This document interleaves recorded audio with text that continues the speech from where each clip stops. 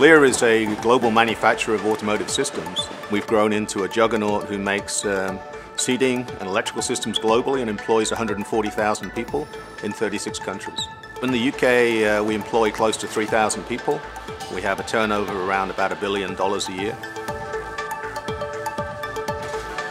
It's a very business-friendly environment. Um, we have very clear understanding, it's transparent. Uh, the tax regime is good and we've received uh, a lot of help from the UK government over the years to keep us here and to keep us growing. We want to feel valued as an industrial business and we want to understand that policies will have a long-term effect. And one of the things we've seen here in the UK has been continuity of purpose and continuity of the value that successive governments have placed in the automotive industry and an industry as a whole.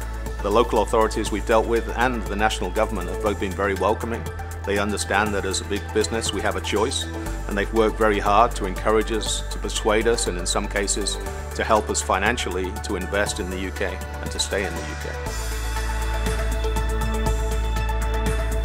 One of the, the first reasons Lear came here in 1994 was the quality of the people available.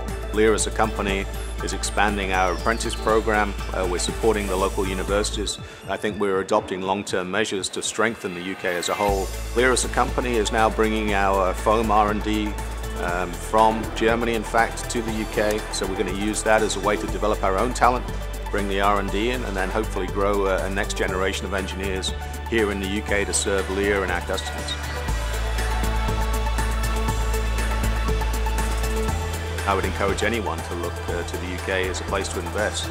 You'll be met with a friendly welcome from the Department of Trade.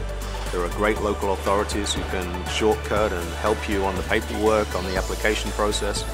One of the beauties of the UK is no matter what scale you're aiming for, you can find it.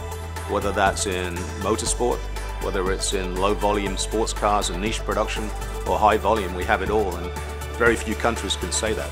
Most countries have a high volume industry, but nothing in between. So when you're looking to, to come to a new country, a new territory, possibly even a new sector, the UK is a great place to be because you can grow your way to success.